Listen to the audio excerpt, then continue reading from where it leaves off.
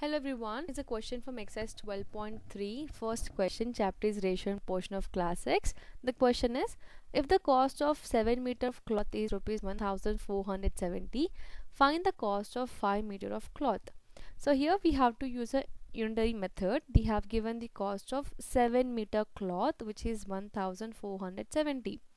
What we have to find out? We have to find out the cost of 5 meter and they have given the cost of 7 meter cloth so for that we're gonna find out the cost of one meter cloth. Once I know one meter cloth cost I'm gonna find out the five meter cloth. I'll just multiply with five. So how to find out that? See I'm gonna just explain you and then I'm gonna write down the statements.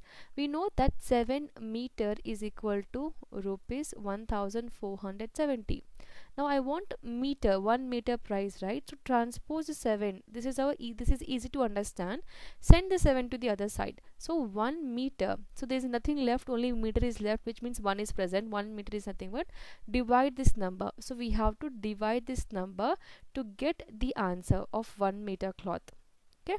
So send this is how we can compare. Like this is how you can understand how to find out the price here. Price of one meter. So i hope it's clear why we're dividing it so once we divide we get the cost of one meter and then we can find out the cost of five meter cloth.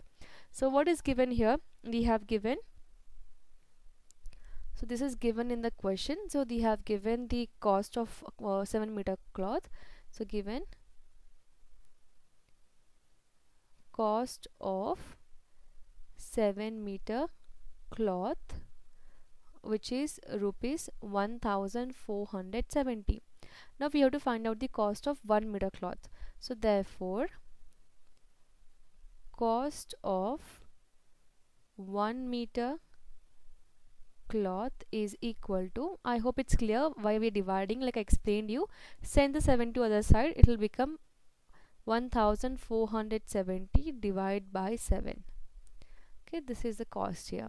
Now you can divide it or you can do the cancellation it's completely on you. I'll go and do the cancellation here in 7 table. So 7 ones are 7 so first we have 14 right? So 7 twos are 14 and then we have 7 here. 7 ones are 7 we have 0 so 7 zeros are 0 so this is a cancellation. If you don't know how to cancel you can divide the number. You can divide this number 1007 uh, 1470 by 7 whatever answer you got here in the question that will be your answer. You'll get 210 there.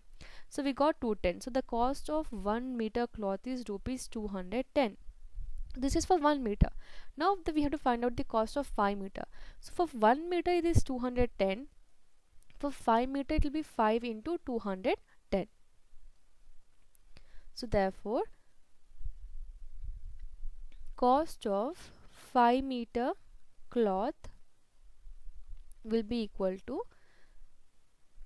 5 into rupees 210 so when you multiply it we'll get here rupees 1050 is a cost of 5 meter cloth. That's it. So i hope this question is clear. In case you have further question or doubt you can drop a comment. Thank you so much for watching